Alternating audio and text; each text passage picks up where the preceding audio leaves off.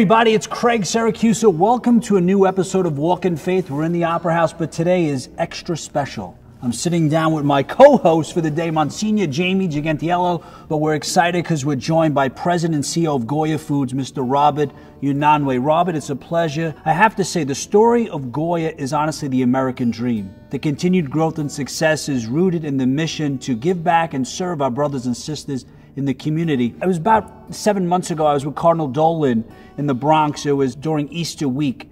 And your team was feeding thousands of people. And what really struck me was they said they never left the community, they never left the people. And I really believe, and we believe, that is one of the reasons why God continues to bless you, continues to bless Goya and your ministry. So it's an honor to sit down with you. Craig, it's an honor to be with you and Monsignor. Thank you, Bob. Well, most people aren't familiar with the story of Goya Foods from 1936. If you can tell us a little bit about how Don and Carolina, two immigrants, started Goya and had the vision.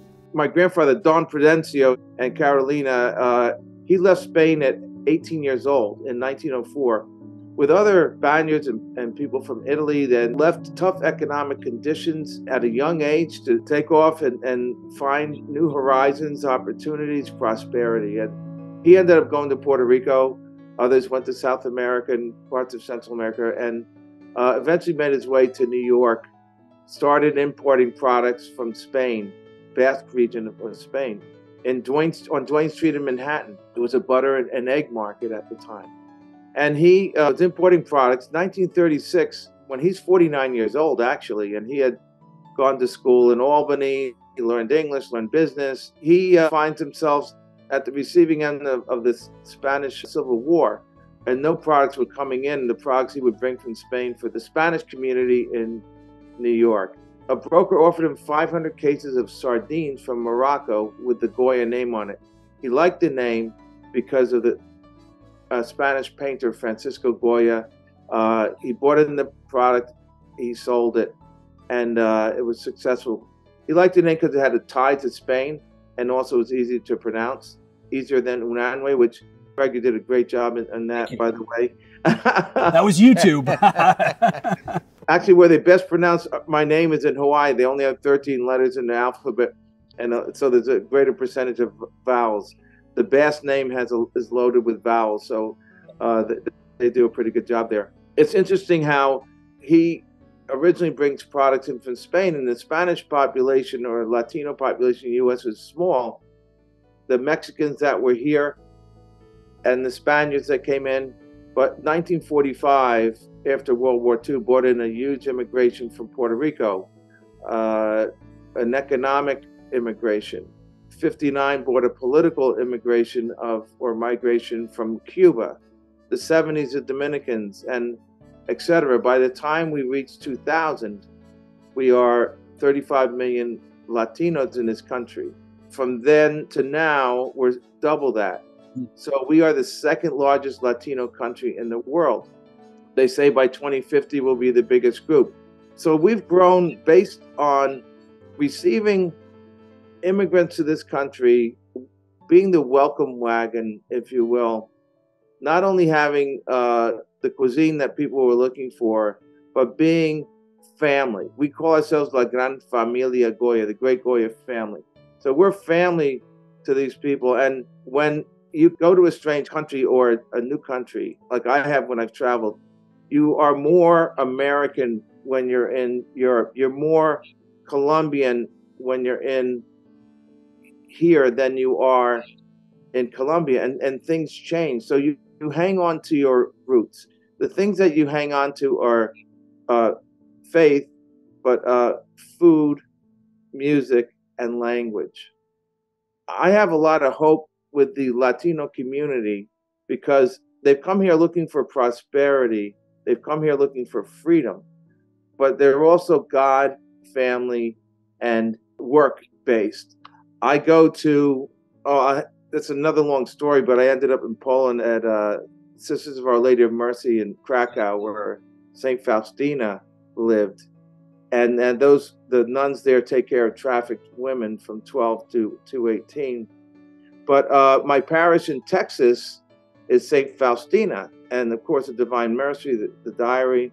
I never really knew so much about her. It's been such an incredible experience. So I go to Mass, they have a Spanish language Mass.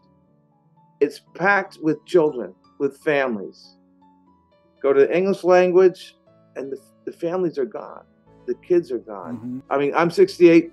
A lot of the parishioners are, are my age, and, and I see a falling off of, of the family. Whereas my hope is that the Latino community, which has God, family, and freedom and prosperity as their goals, that we as a nation can move closer to God. You mentioned a lot about your Catholic faith, and I think it's sort of the driving force behind Goya.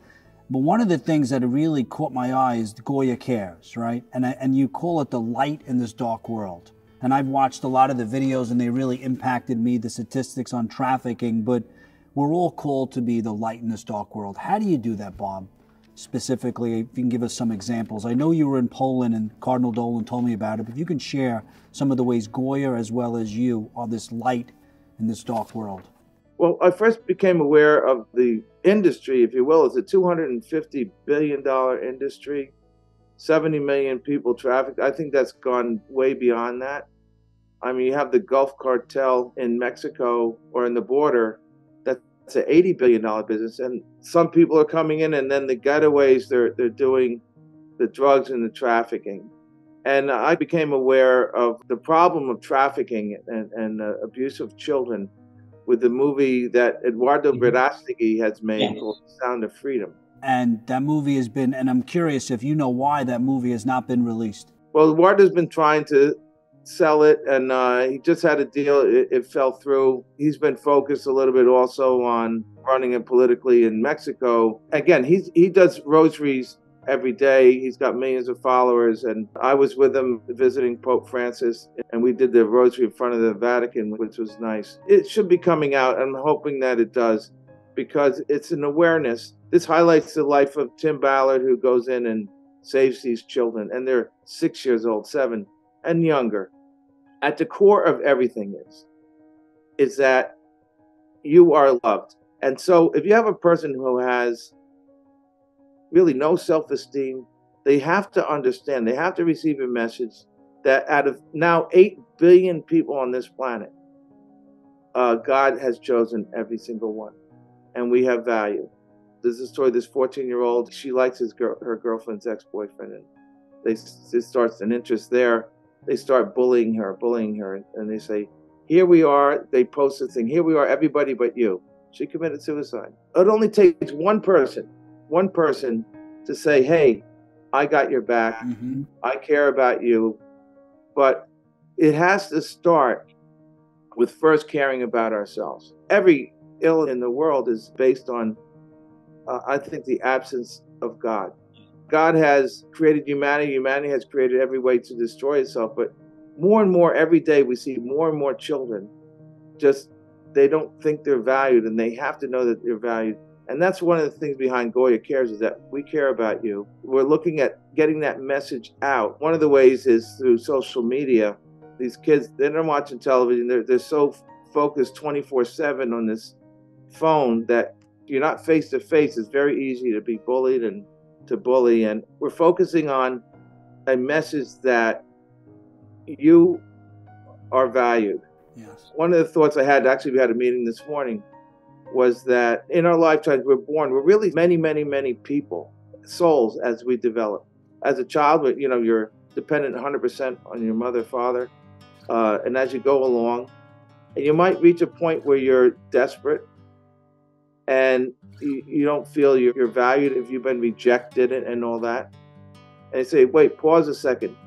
We're going to bring in you 10 years down the road where you moved closer to God, you became successful, and you valued yourself and you value others.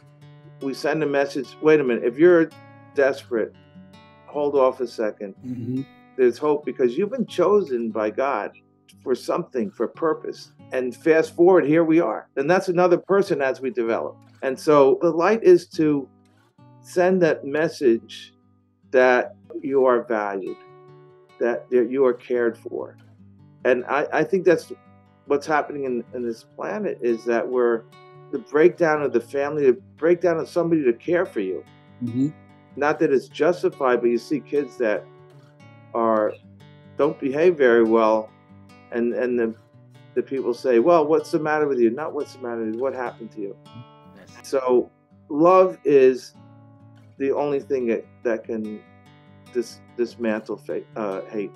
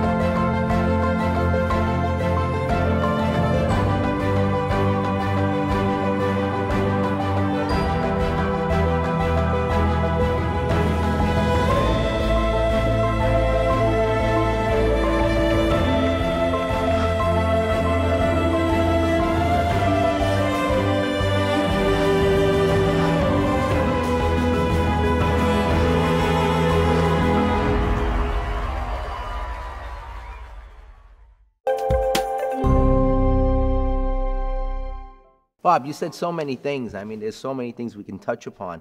But I mean, I think you're right on when you say that, you know, what's lacking in this world today is the lack of God and the lack of faith. And because that's what it's all about. You know, I love when people come up to me and they say, you know, if there is a God, you know, why is there evil in the world? I mean, you hit upon it. You know, evil is the lack of God, mm-hmm. the lack of faith. God doesn't bring evil into the world. Evil exists when we turn away from God a person like you, when you talked about bringing a little light into our darkened world, I mean, a person of such success as you and your family, it has to be rooted in faith because it's not just about making money, it's about giving back. It's about making a difference in this world. Even the start of your company, it wasn't just to open up a, com- a, company to make money, it was to serve the needs of people here that wanted to feel like home. They wanted to eat the foods that they were brought up on. You took it to another level. Now, with your success, you want to give back to society and help society, especially human trafficking. That, that is a, an issue that really affects so many people, especially young people. And a lot of it is because of the lack and the breakdown of the family you know, in this country and throughout the world. You know, you look at so many families and immigrants that have come here. The ones that have really become successful are the ones that are rooted in faith and have deep family values and good work ethics. And I think you hit it right on the head. And the Hispanic communities that come from all over the world, that's what they have. And, you know, I think we have to do our best to help them as much as possible. I was privileged growing up privileged not from a money standpoint because we didn't always have money. Privileged to have a father and a, and a mother. Uh, my father wanted to be a priest. I'm one of six. Uh, he died at 48 years old with leukemia. But uh, he was so strong in his faith, and also my mother, who was a stay at home mom. So I had the blessing of a mother and father who were there caring for us. They protected us. You know, we lived in a kind of a, not a bubble, but these kids are exposed to so much garbage these days. Mm-hmm. A sister of mine who's one year younger than me, my father asked her, you know, Mary, what, what's your goal in life? And she said, I want to be a nurse. And she became a nurse. He said, no, no, no. What's your, what's your goal in life? She says, I want to be a nurse. He says, no, your goal in life is salvation.